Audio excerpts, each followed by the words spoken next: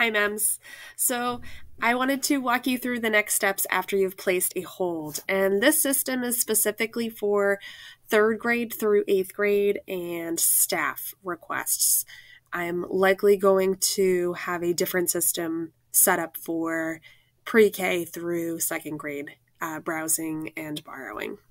So, first, make sure you've placed holds on the books that you would like to check out.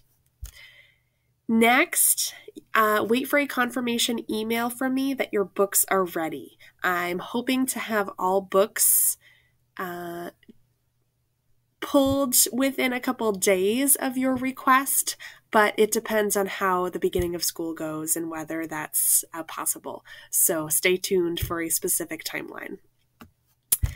Next, I'm going to have a pickup cart system that's going to be very similar to if you've uh, picked up food somewhere or even if you've uh, borrowed books from the uh, Manchester Community Library.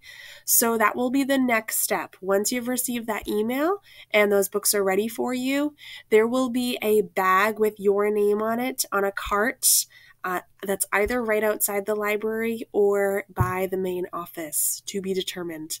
So that system will be up and running shortly, and hopefully, we'll work out all the kinks and figure out um, how to streamline it and make it a little easier. But if you have any questions, please reach out to me and I'll be happy to help you uh, with the next step of this process of borrowing some books from the MEMS library. Thank you so much.